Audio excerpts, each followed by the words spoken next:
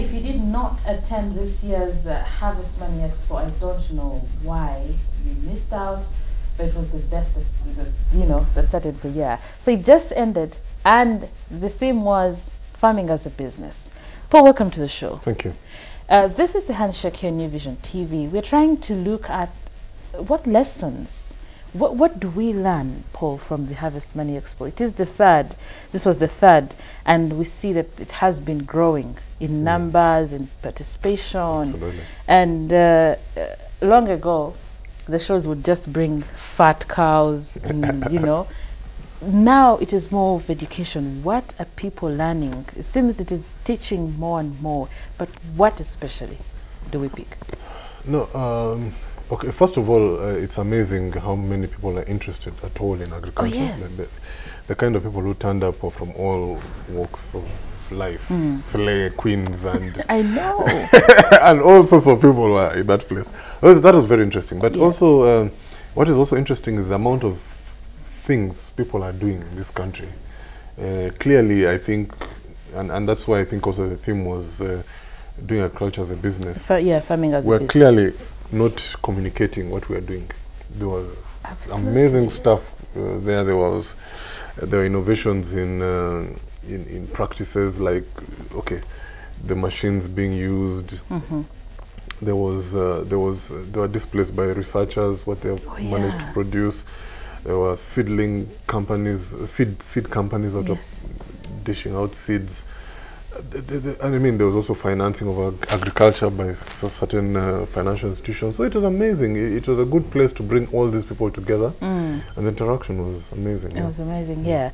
Now, uh, does uh, we keep seeing a shift from uh, the original subsistence farming to more commercialized? Everything is commercialized. Even if I have a small piece of land and I put my onions there, I want to sell them. Absolutely. Uh, what what has the expo really has has it impacted people that much? Well, um, I think it has. We've had we've had testimonies of people who say that they've started becoming taking their farming seriously Mm. since the first expo, Yes. um, and there were useful. Uh, there, were, there were training sessions by people who have actually done these things, not theoretical Oh yeah. stuff. So, oh yeah. So you could see even it's as you said, small pieces of land. People are Mm. really doing uh, serious financial, uh, serious uh, farming. I think what's happening, and you talk going to your thing of subsistence to commercialization, is Mm. that um, as the population grows, um, as, uh, as as the population grows, as uh, land pressure increases, Oh yeah. we have to become more and more efficient with the land we have We to have use yeah. and that would mean improving our farming practices. Uh, you know, the, the the use of this could be helped by extension services, uh, the use of irrigation, so that we can have, uh, you know, more seasons in a year Mhm. rather than two. We should actually be having three in many cases. Yep. Uh, and the use of fertilizer, the use of uh, pesticides, and all those kind of things are going to have to become more serious Mm. to increase the yields. Yeah. Because right now we are, we our, our, our, our farming agriculture is at the mercy of God. We just put Absolutely. and you check It's- if it it's comes out, it's okay. I think it's blessings from him. No, absolutely. I, I Mm. think that, that that's been our major challenge uh, Yeah. because of the abundance that we enjoy. We, we, We. we have not had pressure to be very systematic about it. Mhm. But that's changing, as I said, because of land pressure and uh, the po- growing population and even the weather changes. And the economy challenges, yeah. Yes, absolutely. So it's it's inevitable. We're going to have to and harvest money. The harvest money the, they pull out and harvest money the expo which happens once a year Mm. is helping to shift because also a, a mind shift a mind, mindset Oh shift yes, change my- yeah. sh- Uh, change you, you talked about uh, changing uh, things. There's also, there's also value addition. How how how d- do we see this improving? That was also there in the in the harvest money thing.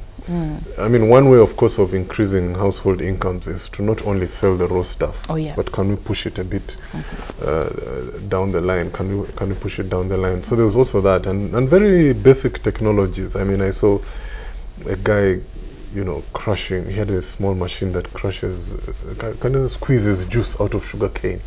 It was amazing. It was an amazing thing, and uh, Oh. uh, the test he was he was demonstrating, you could uh, drink a cup, you pay for it, of course, but you would lace it with a bit of lemon, and it was an amazing taste.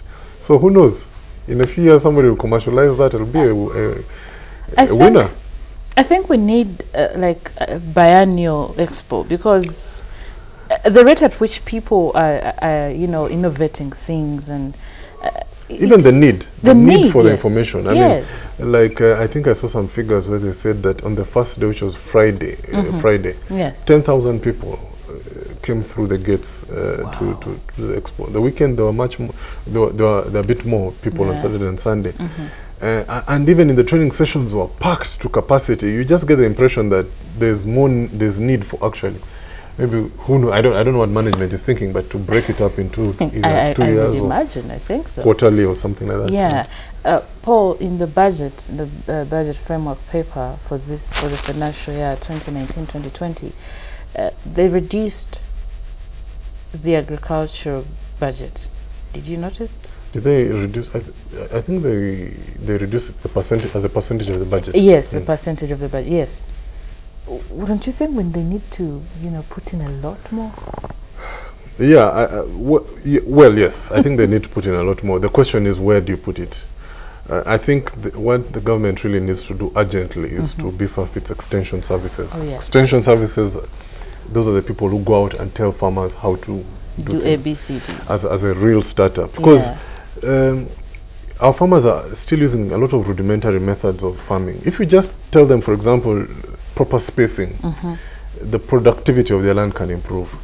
Uh, there can be more investment in things like irrigation schemes um, and uh, probably markets uh, in, in, in the rural areas so, so these people can get a place to sell. Of course, uh, the agricultural budget is not in isolation. Yeah. All the roads that are built, they help agricultural produce Oh, move yes. up and down, yes, so we shouldn't true. ignore that's that. True. That's true. Uh, the security.